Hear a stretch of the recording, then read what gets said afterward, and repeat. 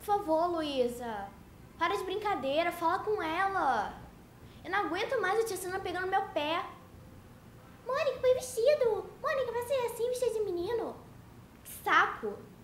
Será que ela não entende que as meninas da minha idade são umas bobas? Fala sério. Usar vestido pra andar de skate. E sem meu skate eu não vivo. Fala com ela, vai.